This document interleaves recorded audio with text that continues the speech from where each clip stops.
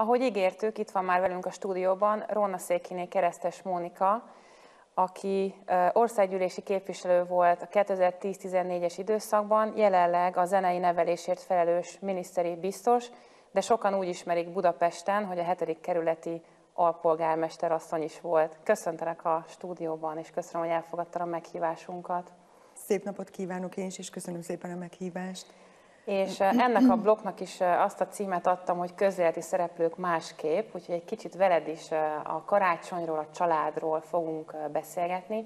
És azzal kezdeném, hogy én olvastam veled annak idején egy számomra nagyon inspiratív interjút, még a, a Demokrata című labban, amiben arról beszéltél, hogy a női karriert és a családot, a családanyaságot hogyan lehet egyeztetni, és hoztál fel történelmi példákat is. Említetted Slakta Margitot, Zrínyi Ilonát, Szent Erzsébetet, és hogy számukra is mennyire természetes volt az, hogy, hogy otthon anyaként helytállnak, de a nagy történelmi pillanatokban is oda kellett magukat tegyék, tehát nem csak a háttérben dolgoztak ezek a nők, erős női személyiségek. És volt egy mondatot, amit ki is emelnék, mert nekem nagyon tetszett a kifejezésed. Azt mondtad, hogy ha ha tehát nem mesterkélten éli meg valaki az anyaságot az adott társadalomban, a család szerepe is a helyén van, akkor minden nő megtalálja a neki való feladatot. Sikerült neked ezt rögtön az elejétől, vagy mikor jöttél te ebbe bele, hogy össze tudtad egyeztetni ezt a kettőt? Először is az ember, ha családot alapít, vagy család életet él, vagy egyáltalán nőként él, nyilván hozza valahonnan, tehát hogy nem csak úgy levegőben lógva a világba találja ki, hanem azért én ezt nagyon hogy is mondjam, meg is becsülöm, és, és egy örök oszlop számomra, amit én hoztam a szüleimtől, pontosan abban az időben, amikor nem volt divat gyermeket vállalni. Uh-huh. És nem volt divat kereszténynek lenni, mind a kettő támadási felület volt, főleg egy pedagógus házaspárnál, édesanyám, édesapám mind a ketten pedagógusok, magyar történelmi szakos tanár volt édesapám, tehát olyan Budapest kellős közepén, tehát egy olyan górcső alatt volt, amiben nagyon komoly kiállás volt, egyáltalán minket vállaltak. És, és ez valószínűleg onnan hozta az ember ezt a fajta milliót, amiben, amiben nem a a pénzorientáltság volt nyilván a, a domináns, hanem, hanem tisztaság és kultúra vett ö, körül bennünket, és nagyon sok szeretet. És akkor onnan hozod ezt, mm. és ö, hát van saját hét szép gyermeke, Igen. és ő miattuk, bár ez most csúnya lesz a mondat, de ki kellett, hogy hagyjál 15 évet úgymond a karrieredből. Idehoznék egy személyes példát, hogy én még joghallgató voltam a Pázmányon, és egy szakkollégiumban laktam a jezsuita nővéreknél, és hát ugye ott mindenki értelmiségi pályára készült. Voltunk 18-19 évesek, és ez rögtön felmerült ez a téma, hogy, hogyha, hogyha család lesz, ha férhez is akarunk menni, meg egyébként értelmiségi munkát is szeretnénk, akkor ez hogy lesz? És nekem nagyon-nagyon megmaradt, hogy a nővérek átérezték ezt a problémát, és hívtak hozzánk olyan előadókat, olyan erős női személyiségeket közéletből, irodalom területéről, tudomány területéről, akik pont ezt mesélték el nekünk, amire szerintem a te életed is nagyon jó példa, hogy azt mondták, hogy ne féljünk attól, hogy, hogy otthon maradni, és hogy kihagyni jó néhány évet, és elmesélték a saját tanúságtételüket, és mindegyikük utána ugyanúgy tudta folytatni, sőt, még magasabb szinten, tehát, hogy egyáltalán nem kellett, hogy elfeledkezzenek arról, hogy egyébként ők tanultak, és beletettek energiát a karrierjükbe.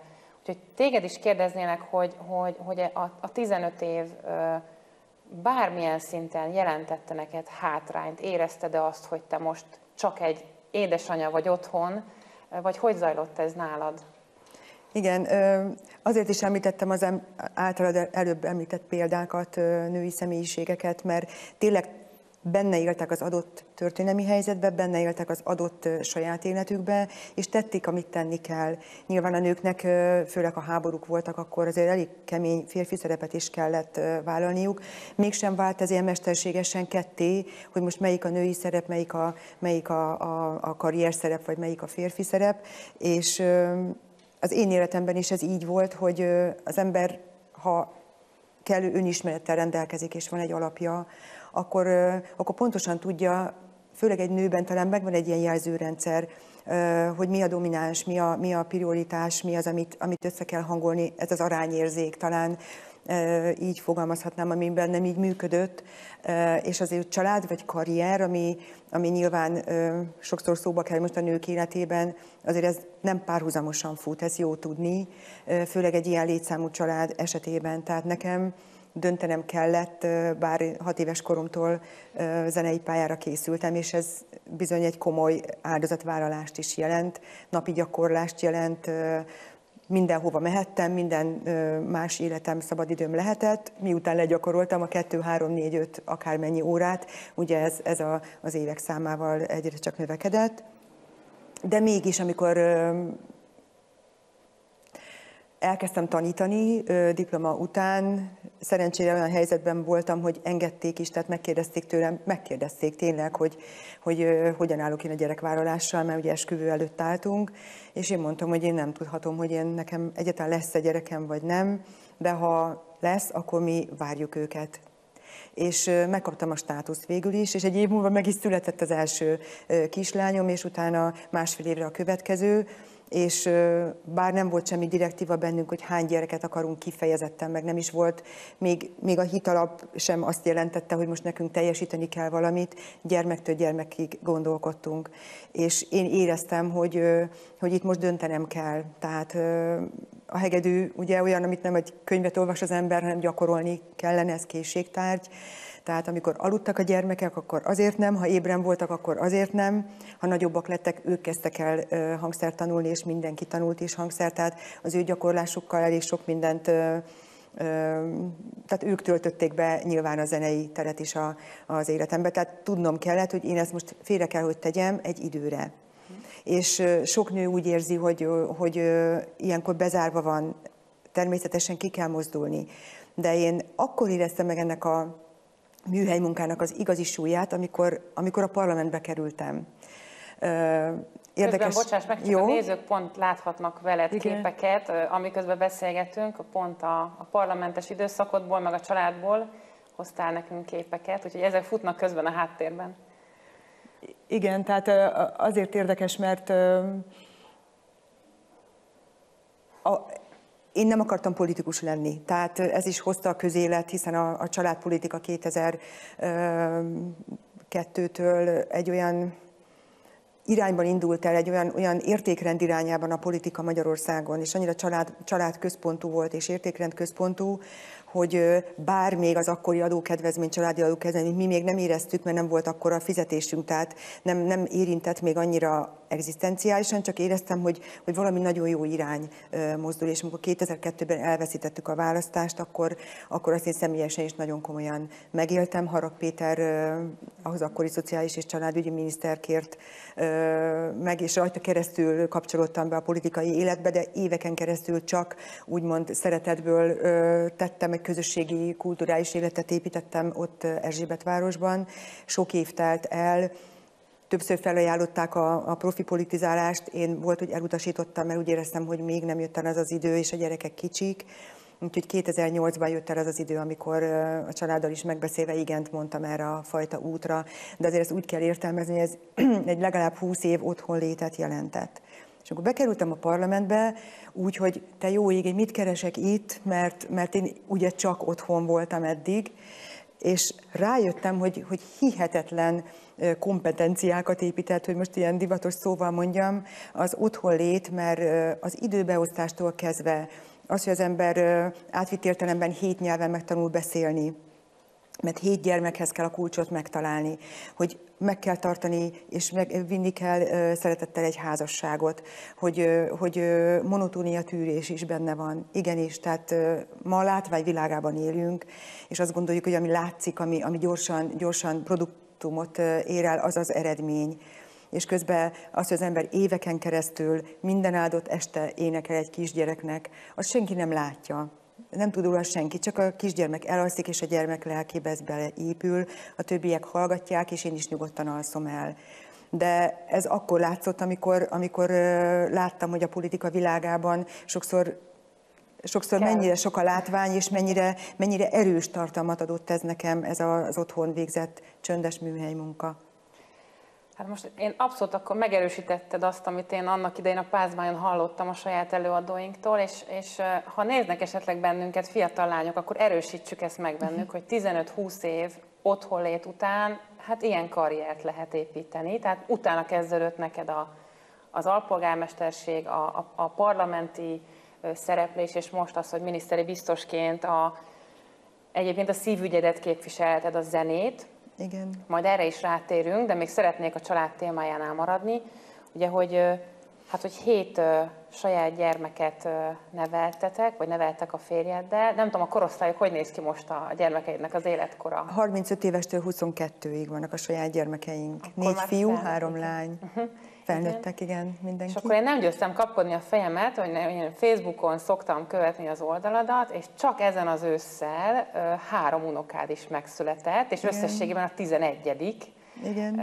És hát raktad fel a képeket, és én tényleg nem, már csak kapkodtam a fejemet, hogy, hogy, hogy hát mikor hívjalak fel egyrészt, hogy gratuláljak, és hogy erről mindenképpen mesélj, tehát hogy, hogy a hét gyermek után most 11 unokád van, és most már nagymama szerepben vagy. Igen, ez ez az egész karrier szó, ez nyilván így mondják, de, de nekem, ha, ha úgy veszük, a legnagyobb karrierem a, a családom, és, és nem tekintem karriernek a, azt a szolgálatot, amit egyébként akár az országgyűlésben tettem, akár a, a zenei vonalon. Tehát ezt én úgy fogom fel, hogy ez, ez annyira párhuzamosan és annyira koherenciában működik a, azzal, amit én otthon a gyermekeinkkel, hiszen ők a jövő. Nemzedéke, a jövő közönsége, ha zenéről van szó, és és mindegyiket ezzel a szándékkal ö, tettem, tehát hogy ez, ez nem válik a kettő annyira szét egymástól. Amikor így megjelenik előttünk egy ilyen nagy család, csak nagyon is próbálok benneteket elképzelni, meg majd a fotókon is fogjuk látni a családodat, hogy, hogy úgy, úgy elsőre az emberben mégis a, a, a problémák jutnak úgy eszünkbe, hogy ezt hogy lehet lelogisztikázni egyáltalán egy ilyen, egy ilyen óriási családot. De aztán nekem mindig eszembe jut, hogy ahogy cseperednek a gyerekek, valószínű, hogy nagy segítséget is jelentenek a kisebbekkel, már ebben a logisztikai munkában is, meg az otthoniban, hogy hogy zajlik ez nálatok, hogy képzeljük el a ti nem is tudom, káoszotokat így a hétköznapokban. Igen, a logisztikát. Még az előző egy kicsit visszatérve, hogy az a, talán az a kettő úgy is kapcsolódik, hogy 2010-ben kerültem be a parlamentbe, és akkor családpolitika, akkor, hogy mondjam, 98-tól már ez működött az első Orbán kormánynál, de, de akkor lehetett igazából fölépíteni azt, ami ma is fejlődő tendenciával, és egyre bővülő tárházzal és, és választási lehetőségekkel működik, de 2010-től született nekem 11 unokánk, tehát hogy végül is talán itt természetben is az ember így hozzá tudott tenni ehhez a nemzethez, még ha nem is ez volt a direktíva, de így alakult. A logisztika pedig nyilván ez így nagy számnak tűnik, de nem egyszerre szakad az emberre, hanem az első gyermekünk megszületett, ugyanolyan izgalommal vártam, mint bárki más, aki, akinek még soha nem volt gyermeke, ugyanúgy 24 óra volt egy gyermekre is, és halálosan elfáradtam meg a család is, és ugyanez a 24 óra állt rendelkezésre a kettő gyerekre is később, és a hétre is, tehát hogy a, a logisztika, meg a, ehhez való hozzászokás az szépen fokozatosan történik. Úgyhogy bele is jön ebbe az ember, és tényleg valóban a gyerekek később segítségek is. első gyerek nehéz, a második azért nehéz, mert, mert több, mint az egy, és a kettőről a háromra, na ott volt a könnyebbség érdekes módon, mert ott már meg volt minden, tehát már nem az első, nem a többedik, illetve nem először a több, hanem már az egy kis csapat, és, és az arányokat azt sikerül helyreállítani, de, de ami a, az igazi nehézsége, vagy a szépsége, vagy ami, ami a több gondot okozza, az a személyesség. Mert én úgy éreztem, hogy egy nagy család, és vannak is ilyen tapasztalataim, hogy, hogy nem mindig csak pozitívan élik meg a családban a gyerekek, a sok gyereket. Tehát ez nagyon szépen hangzik, hogy elmondhatom, hogy van hét gyermek, milyen nagy család, de vajon hogy érzi benne magát az egyes gyermek? És mi öten vagyunk lányok, testvérek, és én vagyok a legidősebb. És azért érdekes az ember tényleg honnan jött, mert, mert valahogy valamit nagyon jól csináltak a szüleink, mert mert van, aki tényleg nem akar több gyereket, mondjuk első gyerekként, mert ő volt mindig a pestonka, neki kellett a legjobbnak lenni, tehát egy kicsit, kicsit túl, túl terheli a gyerekkorát esetleg a nagy család, és később úgy, úgy dönt, hogy ő most szeretne inkább valahogy szabadabban élni. De valamit jól csinált édesanyám, mert, mert, mert nem, nem voltam ez a, ház, ez a kinevezett nagylány pestonka, bennem valahol alapból bennem volt ez az érzés, és nem, borzasztóan örültem minden, minden pójának, amit hazahoztak, és, és nagyon ösztönösen, amit én foglalkoztam a gyerekekkel, testvéreimmel, az volt, de nem, nem volt direktíva, tehát segítették ezt, hogy, hogy én ne legyek, ne, ne legyek egy ilyen házi segítség. Tehát ne kelljen átvenned az anyaszerepet, ne, ne kelljen átvennem, pontosan, tehát ő pedig ő is tanított végig, tehát ő zongoratanár édesanyám, ráadásul akkor még, még szombaton is volt tanítás, ráadásul váltott műszakba, tehát volt délelőttös hét, volt délutános hét, tehát nagyon nehéz volt nekik, hat hónap után vissza kellett menni dolgozni, tehát messze nem volt az a helyzet, ami most van nekünk anyáknak, hogy választhatunk voltunk, és három évgyes csak a legkisebb testvéremnél volt. Úgyhogy, de valahogy mégiscsak ezt a, a, az örömet, a kedvét, a, a, a belső igényét ö, építették ki bennünk, vagy segítették ki, vagy szerették ki belőlünk, hogy, hogy mi ezt tovább akartuk vinni. De de a, a, a személyesség az, amit én, én nagyon fontosnak érzek, hogy minden egyes gyermek, bármennyire hasonlítanak egymásra, meg bármennyire ö, hint hét tojás mondják, de teljesen más személyiség mindegyik. És az a 15 év, amit az elején a kicsi gyermekkornál otthon voltunk, ugye a többi meg a kamaszkor, borzasztóan, én ezt csak ajánlani tudom, hogy érdemes rászállni ezt az időt, mert a kamaszkornál bejön még így sem hibátlan az élet, tehát az ember, amit elmulasztott, vagy valamiben tévedett, az ugye nem lehet megismételni, ez egy olyan, olyan, olyan világ, amit nem lehet újra fölvenni, mint egy, esetleg egy, egy, egy, egy adást egy tévébe, hanem ez rögtön élesben megy, mert egyszer 15 éves egy gyerek, és egyszer, egyszer három éves, és egyszer újszülött, és egyszer ö, választ társat és, és pályát és hogyha éjjel háromkor van megbeszélni való, akkor azt akkor kell megbeszélni, mert lehet, hogy máskor nem mondja el. És én ezt a mai napig is ezt érzem, családos gyermekeimnél is.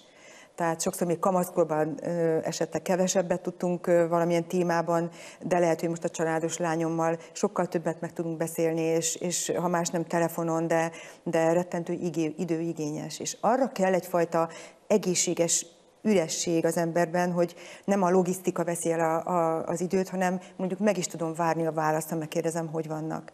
És ez a titka egyébként az a család és karrier összeegyeztetésének, hogy azért érdemes rászállni ezt az időt az elején, mert ha az embernek az kattog a fejébe, hogy, hogy otthon hogyan oldja meg a logisztikát, és a munkahelyemen hogyan oldjam meg, meg közben ott is vannak emberi kapcsolatok, amiket azért óhatatlanul hazaviszek, mert, mert hogy nézett rám a kollégám, meg mit mondott a főnök, és akkor vajon van-e annyi lelki ö, ürességem, vagy, vagy, vagy ö, lelki szegénységem pozitív értelemben, hogy, hogy én, én rá tudjak koncentrálni arra, arra a kisgyermekre, és, és be tudjam fogadni azt, hogy most éppen hol tart, és hol tudok segíteni. Én azért döntöttem úgy akkor, hogy, hogy, hogy akkor teljes egészet oda teszem. Szentgári Katának volt egy idézete, ami az esküvői meghívónkon volt, hogy egészet adni sohasem felett, vállalni mindent, bármit is jelent, egészet adni mindent, ami van, ami csak vagyok, maradéktalan. Hát oda tetted magadat, én úgy érzem. Igyekeztem, igen. És az előbb volt egy olyan mondatod, hogy megragadt a fülemben, hogy, hogy kamaszkorban bejött az a befektetett energia, amit kiskorban igen. te odaadtál a gyermekeidnek.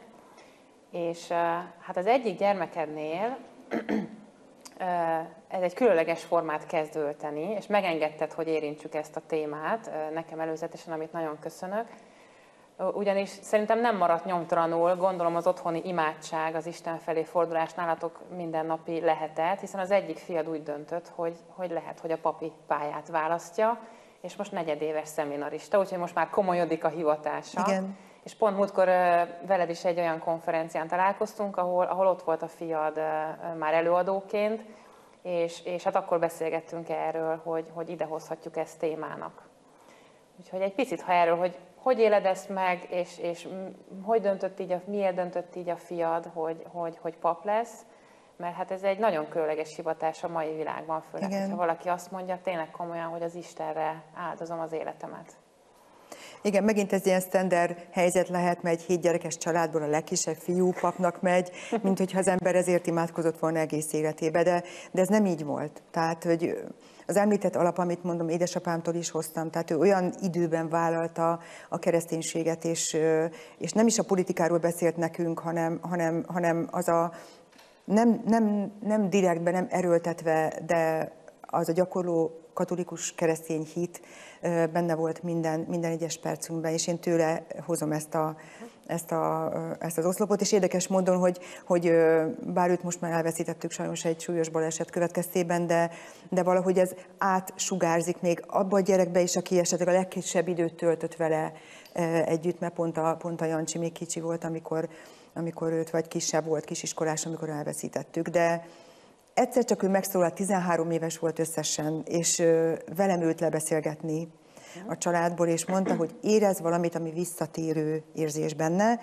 Hozzáteszem, versenyfocista volt, budapesti válogatott a, a, a, a Jancsi, egy másik iskolában is járt akkor, és egy egész e, elég vagány fiú volt, nagyon szeretett focizni, azóta is szereti, de valami történt ő benne, amit ő velem közölt, és annyit is kért tőlem, hogy annyit kér, hogy, hogy ne, ne kérdezzek innentől kezdve semmit, ne, ne firtassam, kérte, akkor kérte, hogy imádkozzak érte, de majd ha meghoz egy döntést, akkor majd elünk, elénk fog állni. És, és 18 éves volt, és előbb kellett beadni a felviteli kérelmét, vagy a döntését ugye valamelyik felsőoktatási intézménybe, mint a, a szemináriumi felvételi, úgyhogy ő, ő be is adta ö, magyar nyelvszakra egyetemre, de meg is nyugtatta ezzel a környezetét, de húsvétkor akkor kérte, csak ráncsam össze a családot, ennyi volt a kérése, és akkor felolvasta nekünk azt a motivációs levelet, amit Erdő Péter Bíboros úrnak kellett fogalmazniuk. Hát az sok mhm. zsebkendős történet volt, az biztos, mert nem volt még akkor felvételi, hanem, hanem az ő döntését tárta a család elé. És ez akkor nagyon szép volt, de én megmondom őszintén, egy kicsit inkább az aggodalom volt bennem erősebb, mint az eufória, és tudtam, hogy valami, valami nagyon-nagyon komoly tanulási szakasz jön a mi életünkben is. Tehát ebben a mai világban, ahol, ahol olyan sok veszély fenyeget, ahol, ahol olyan, olyan liberális, igazából kapaszkodó nélküli, tehát még csak nem is az, hogy most ateista, hanem olyan semmiista, tehát hogy nihilista, vagy, vagy, vagy, vagy a, a szórakozásra, a fogyasztói társadalomra épített, gyakorlatilag saját maguk sétálnak bele a, a, a abba az értékrend tévesztésbe, ami, ami, ami hat a fiatalokra ma, és megindul egy fiatalban valami ilyesmi, amelyik egy nagyon-nagyon tisztán és nagyon-nagyon komolyan, de tele humorral, tehát olyan egészségesen, akkor azt most nekem nagyon-nagyon komolyan védenem kell a saját életünkkel is. Úgyhogy ez egy kölcsönös tanulássá alakult, rengeteget beszélgetünk, és, és, és nem is, nem is akarunk egy ilyen terhelést a, a, a Jancsira rátenni, hogy akkor most elvárja tőle a család nyilvánvaló ezt a hivatást, hanem kísérjük ebben, de én úgy érzem, hogy, hogy, hogy elég stabilan és nagyon fejlődő tendenciával, és nagyon mély, mély, mély hite van. Ez biztos, hogy egy út, tehát, hogy amit mondasz, Ez egy hogy, út, hogy igen. Nincs, nincs elvárás, hogy most akkor elkezdted a teológiát, akkor most mindenképp pappá kell válni, nyilván ezért van a felkészítés, a szeminárium, tehát ezt a papok, szerzetesek is pontosan tudják, hogy ez milyen út vezet el odáig, mire, mire, mire felszentelik, felszentelik pappá. Van. És most negyedéves, a negyedévesek a kis doktorok a szemináriumban, Esztergomban van, úgyhogy most 11 kis pap van, akik szeptemberben elkezdték a tanévet, és ő a kis doktoruk. Tehát az azt jelenti, hogy ő, ő követi őket lelki értelemben, és rengeteget beszélget velük, van elképzelése, most már látja a szemináriumi életet annyira, hogy, hogy azért vannak benne javítani valók is, vagy vannak ötletei neki is, vagy elképzelései, és, és, és, és talán ez is ez alatt is ő is ér, és ebből is rengeteget tanul.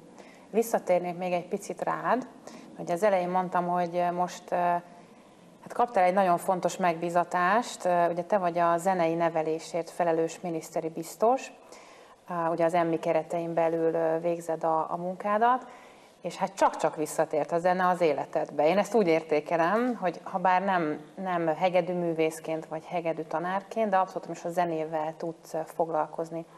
És engem nagyon érdekelne, hogy amikor téged tavaly év végén neveztek ki erre a pozícióra, hogy most mit látsz már így az egy év alatt, hogy hogy, hogy, hogy állnak a fiatalok egyáltalán a komoly zenéhez uh-huh. ma Magyarországon, hogy nyitottak erre, akarják-e, milyen a befogadó készsége ennek a területnek? Igen. Kodály Zoltán országában élünk, tehát ezt sokan tudják, hogy ki Kodály Zoltán, de igazából a, a súlyát és a mélységét és a filozófiáját nem, nem igazán értik. A komoly zene mint, mint professzionális kulturális műfaj működik ugyan, de a zenészek szemszögéből is nézve gondozatlan volt mondjuk például a kormányzati szempontból. Tehát nem volt egy, egy antenna, egy fókusz erre a területre. Ezt most azért mondom, mert nagyon örülnek neki a, a magyar zene hogy mondjam, nagymesterei, akik, akik körülvesznek bennünket. Most nyilván nem fogom felsorolni mindenkit, de, de egyenként le is ülök most velük beszélgetni, hogy erre mennyire szükség van, hogy a kommunikáció, az értő hang eljusson a minisztériumba, a döntéshozókhoz, hogy itt miről is van szó.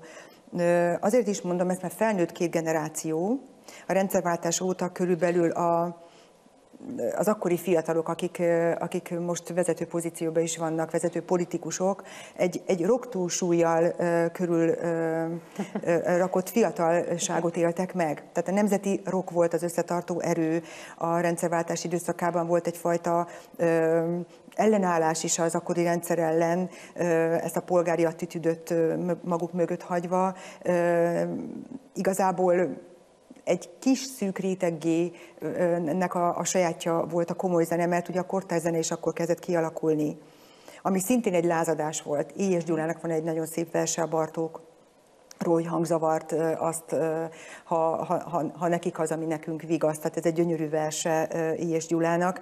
Tehát az atonalitás jelent meg a komoly zenében ami egy szintén egy lázadást jelentett, és mivel a tonalitást vesztette az ember füle, ezért a rock túlsúly, amelyik ezt a harmóniát, tehát a, a, a, visszaadta, az volt a fülnek kellemes. És nyilván ennek, ennek a Amerikából, meg, meg a nyugatról bejött ö, fókusz, szóval nagyon erős volt a, a rockzenének a, a túlsúlya, és ezért a, a komoly zenére kevesebb volt a figyelem és ezt most kevesebben értik. Úgyhogy most ez az, amit vissza kell építeni, mert Kodály Zoltán egyébként egy olyan reformpedagógiát alkotott meg, amelyik a nemzeti dalkincsre épül. Azt mondta, hogy a gyermeki személyiség fejlődését a tanulatlanságában is kifejlett szépérzékű és eszes paraszti kultúrára építette, és ők voltak Bartókkal, meg a kortársakkal együtt, akik még vették a hátizsákot és elmentek a terepre, és ott gyűjtötték össze azt, az, azt a hihetetlen dalkincset, ami, ami Magyarországon egyébként egész Európában a legtöbb az összes dalkincset egybevéve a magyar dalkincs a leggazdagabb. És ebből építkezve, így mondta Kodály, hogy, hogy, hogy nemzeti, de lelket tár más népek alkotásaira is.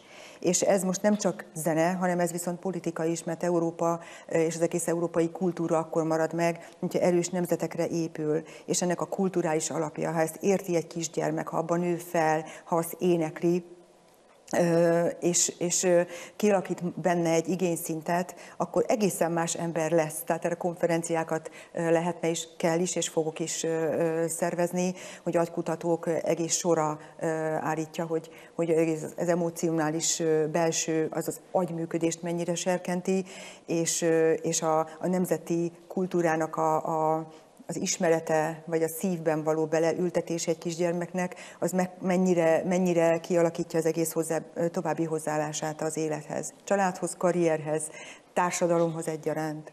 Hát akkor van portékánk, ezt azért mondom így, hogyha valaki nekiállna ennek a területnek, a marketingének, a PR-jának, stb., akkor, akkor nem kell nagyon megerőszakolnia magát, hogy kihozzon valami tartalmat, és, és hogy valamilyen nagy kommunikációt, hiszen van portéka mögött, van, van mit eladni, van mit népszerűsíteni. És én úgy érzem, hogy el is kezdtük egy kicsit Magyarországon. Én ugye a virtuózokhoz kötöm, de én mm. teljesen laikus vagyok a zenét tekintve, hogy elkezdődött egyfajta népszerűsítési folyamat. Nem tudom, neked, mint miniszteri biztosnak van-e ilyen feladatod, hogy magát a kommunikációt is egy kicsit összerázzad, összerendezzed, koordináljad, vagy, vagy csatlakozzál azokhoz, akik már ezt csinálják, mert hogy, mert hogy talán itt lehetne még egy, egy lépcsőt tenni afelé, hogy minél több fiatal megismerje a komoly zenének a szépségét, és amiről te is beszélsz, hogy újra fülbemászónak halljuk, mi laikusok is a komoly zenét. Igen, igen.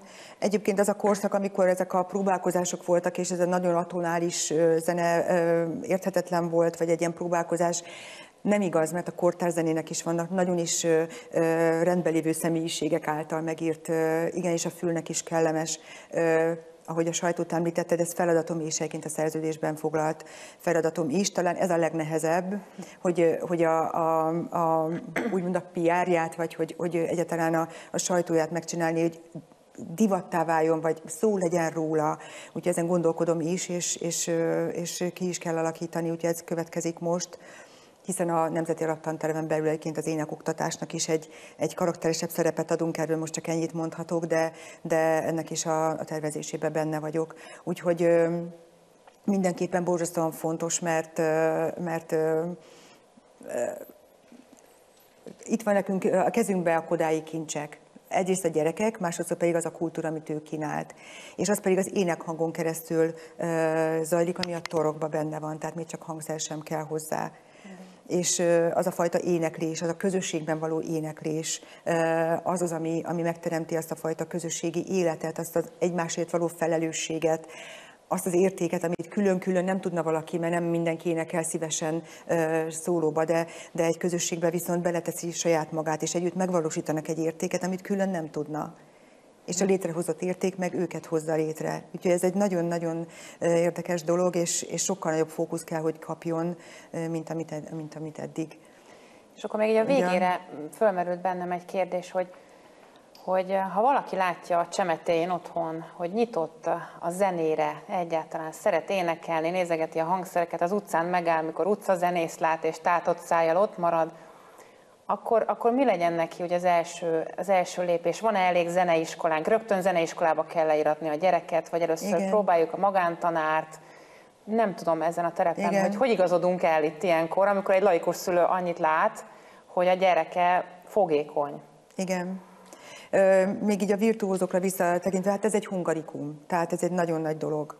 Ez Magyarországon találták ki először, vagy onnan jött az ötlet, és hogy a komoly zenében legyen egy ilyen tehetségkutató verseny. Azért mondom, hogy ez most így külön, mert ez veszélyes is lehet. Uh-huh ezt én kimerem mondani, mert maga az, hogy virtuóz. Tehát a virtuóz az azt jelenti, hogy, hogy gyorsan játszik, hogy, hogy zúzza azt a művet, hogy, hogy hibátlanul játszik, hogy, hogy nagyon látványos legyen, hogy már nem lehet hova fokozni ezt a fajta teljesítményt, minél kisebb gyerek, minél nehezebb művet, minél bravurosabban játszon. Tehát megvan egy ilyen veszélye.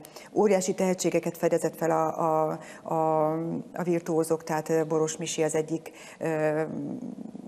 emblematikus figurája ennek, aki, aki egy egész ember tudott maradni. Egyébként, ez, ez nagyon nagy dolog. Bogányi Gergely zongoraművész, egyébként a mentora, Boros Misinek, aki a lelkét is ápolja, ő is egy hívő, komolyan hívő ember, és, és ezért, ezért egészséges tud maradni, de megvan a veszélye, hogy, hogy túlpörgetik ezeket a gyerekeket, és túl sokat szerepeltetik, túl, túl, túl nagy vörös szőnyeget vetítenek, vagy reflektolt eléjük, és, és, és az elmélyülés az, az esetleg sérül a minőség ilyen szempontból.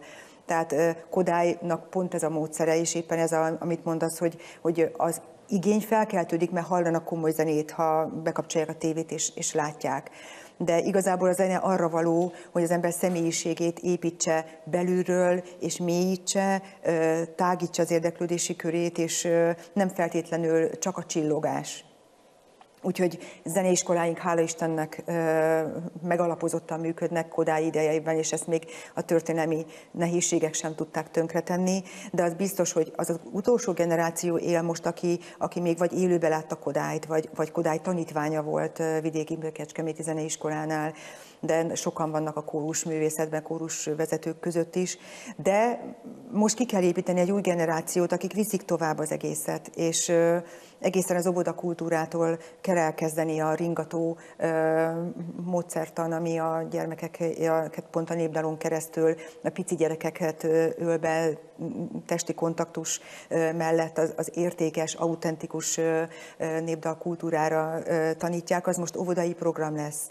Tehát az óvoda pedagógusokat is fejleszteni kell, az iskolai zenepedagógusokat is, mert sajnos ebben, ebben most azért komoly hiány van a pedagógus életpálya presztise miatt is, mert kevesen mennek pedagógusnak, nem nagyon nézik, hogy most tud-e például énekelni. Régen minden, minden óvónőnek hegedülnie kellett, tehát az óvónők hegedültek, pedig az egy nagyon igényes és nagyon nehéz hangszer.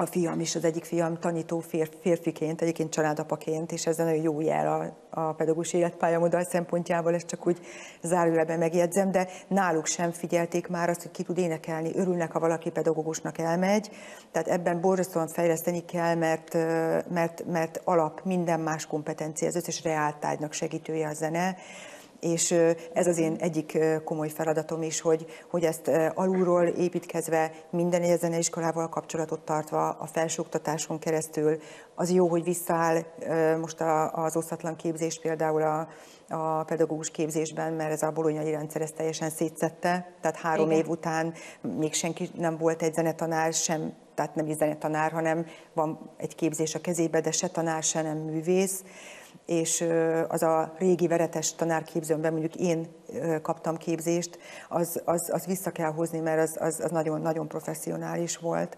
Úgyhogy nincs elveszve semmi, mert nagyon sok a tehetséges gyermek, az óvodai képzésben még, még, még nagyon fel is keltik az érdeklődést. Sokszor hallom trollin villamoson is, hogy gyerekek éneklik a népdalokat, és a jó érzés, mikor viszik haza a szülők őket, és, és énekelgetnek maguktól. Az iskolában már gond van, mert csökken az szám 30 éve folyamatosan csökken. Uh-huh. Most lehet, hogy ebbe egy icipici tyúklépést sikerül elérni egy, egy, egy óraszám bővítéssel a felső tagozatban, de ezzel nem szeretnénk megállni, hanem ha megkapom a bizalmat, akkor én ebben nagyon elkötelezetten szeretném segíteni a, a, a, a magyar kulturális és, és értékrendi életet. Hát akkor Monika szavaival éve Kodály országában én arra biztatom a nézőket is, hogy ne ijedjünk meg attól, ha a gyermekünk szereti a zenét, sőt örüljünk ennek és támogassuk ebben, mert van fórum és van jövő, van. és nagyon sok sikert kívánok neked a, ehhez a munkához, és a családodhoz gratulálunk, és köszönöm nagyon szépen, szépen köszönöm, hogy eljöttél hozzánk a stúdióba. Megtisztelő volt nekem is, köszönöm szépen.